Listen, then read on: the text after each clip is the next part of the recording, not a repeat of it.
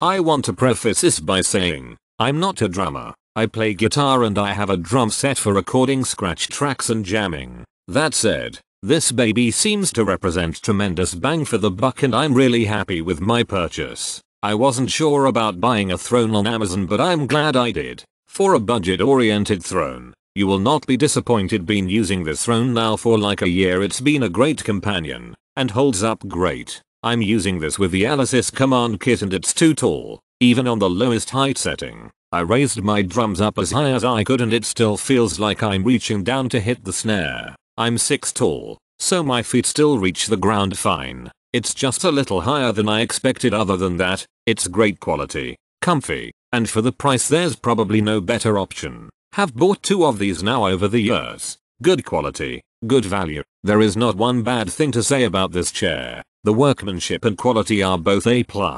This is a solid well put together throne as I'm 250 pounds and it doesn't slide down like so many others have. The only fault I have found is the round uncomfortable seat but I put my Gibraltar tractor seat on it so it's perfect now and for $100 this is a no-brainer. The pad is harder than I thought it would be given the thickness. But overall, it's a good deal. Sturdy and I'm over 6 and 250. Happy camper. The cushion could have been a little thicker for what I paid, but the throne is rock solid.